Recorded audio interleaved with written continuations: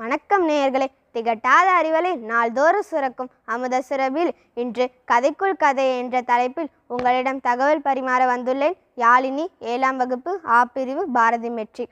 பாரத போர் பதினெட்டு நாள் நடந்தது. நாம் அறிந்த செய்தியே. நாம் பார்க்க இருப்பது மகாபாரதத்தில் இடம்பெறாத கதைகள். இதோ பகல் முழுவதும் அர்ஜுனனுக்கு தேரோட்டியவன் கண்ணன். அந்நாளில் இரவில் போர் செய்யும் வழக்கம் இல்லை இரு பிரிவினரும் நன் இரவில் நன்கு உறங்குவார்கள்.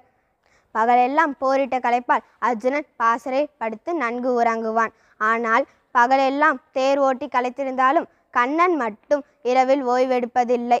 தேரை இழுத்து ஓட்டி களைத்த குதிரைகள் மேல் கவனம் செலுத்துவான்.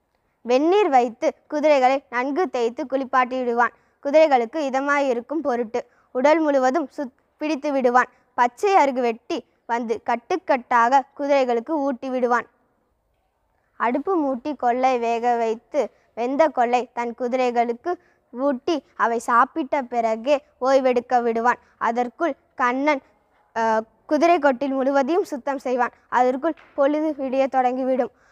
அதன் பிறகு குதிரைகள் குதிரைகளை பூட்டி தேரினை போருக்கு செல்ல தயாரித்து விடுவான். ஒவ்வொரு நாளும் தொடர்ந்து இப்படியே நடக்கும். ஒரு நாள் அர்ஜுனனுக்கு நள்ளிரவில் விழிப்பு வந்துவிட்டது. எழுந்து கண்ணன் தங்கிய பாசறைக்கு சென்றான். அங்கு கண்ணன் இல்லை. இந்நேரம் களைத்து தூங்காமல் கண்ணன் எங்கே போயிருப்பான்? என்று தேடினான். இறுதியில் கண்ணன் கண்ணன் குதிரை கொட்டிலில் குதிரைகளுக்கு பணிவிடை செய்து கொண்டிருப்பதை கண்டான்.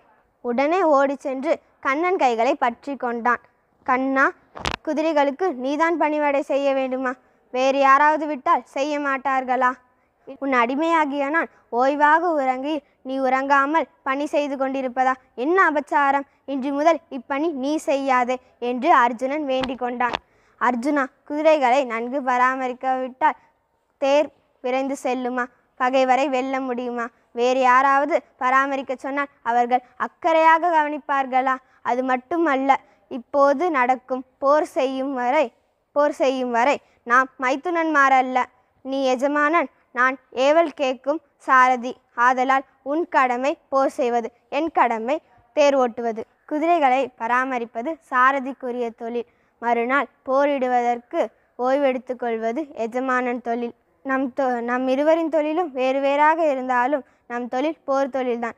ஆதலால் நாம் செய்யும் தொழில் ஏற்றத்தாழ்வு ஏது? உனக்குரிய தொழில் மறுநாள் போரிடுவதற்கு ஓய்வெடுப்பது. எனக்குரிய தொழில் மறுநாள் தேரில் பூட்ட குதிரைகளை பராமரிப்பது. இதுவகை தொழிலும் செம்மையாக நடைபெற்றால்தான் போரில் வெற்றி கிட்டும். ஆதலால் நீ சென்று ஓய்வெடுத்துக்கொள். என் கடமையை செய்ய குறுக்கீடு செய்யாதே என்றான் கண்ணன். மறுநாள் முதல் தன் போர்க்கடமையை சோர்வின்றி செம்மையாக செய்து வெற்றிகளை குவித்தான். இதன் மூலம் அவரவர் கடமைகளை சரிவர செய்தால் மட்டுமே வெற்றியை தொடர முடியும் என்று கண்ணன் நமக்கு தெளிவாக்கியுள்ளார். என்ன நேயர்களே கண்ணனும் குதிரையும் உங்களை கவர்ந்திருக்கும் என்று நம்பி உங்களிடமிருந்து விடைபெறுகின்றேன். நன்றி வணக்கம்.